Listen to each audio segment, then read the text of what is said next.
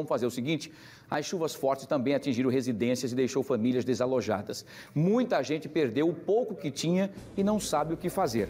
Acompanhe os detalhes na reportagem de Nazário Júnior aqui no nosso fenômeno. Vamos ver.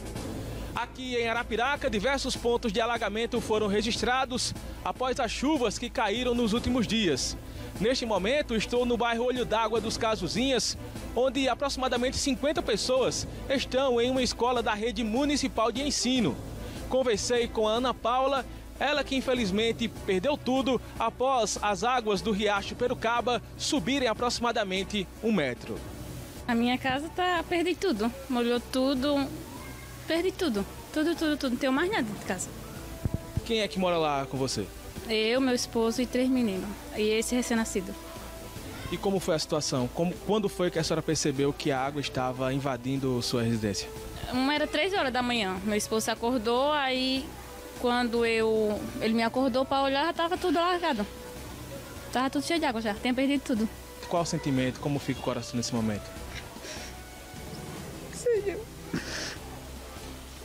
Eu também conversei com o Dinho Nascimento. Ele é morador aqui do bairro e tem dado apoio a estas famílias. É algo que eu não imaginava é, reviver alguns momentos que é destriste, lamentável com essas famílias que nos acordaram pedindo socorro, ajuda só para sobreviver, para resistir a essa tempestade.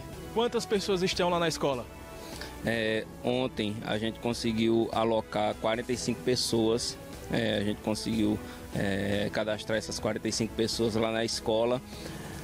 Algumas voltaram por conta que a água baixou, aí estão retornando às casas, tentando recuperar algo para utilizar, porque molhou tudo, tudo, tudo. Algumas famílias já estão começando a voltar, outras ainda consistem é, na escola, ainda está pela escola, é, tentando passar esse dia, porque lá está tendo uma refeição, é, tanto de manhã, meio dia, à noite para eles, e o, o espaço para eles dormirem.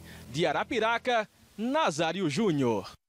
Muito bem, Nazário Júnior, muito obrigado pelas suas informações. Também o Agreste sofrendo com a quantidade de chuvas e causando problemas para as pessoas que estão tendo problemas com a invasão da chuva, tá bom?